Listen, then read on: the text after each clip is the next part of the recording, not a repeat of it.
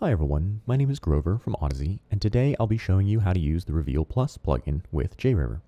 So if you don't already know, you can actually use VST plugins with JRiver.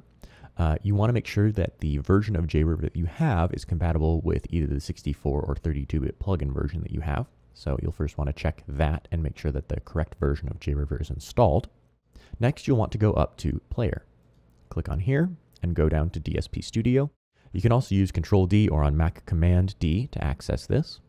And in the DSP Studio, you'll see over on the left-hand side a list of plugins, as well as an option to manage all the different plugins that you have. Now, I already have Reveal in my list, but what you're going to want to do is go to Manage Plugins.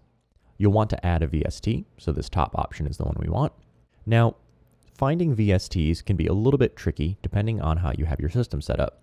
It's going to depend on where you've installed Reveal Plus. You want to go to OSC, so the main drive for your computer, program files, not the x86, but the 64 bit one.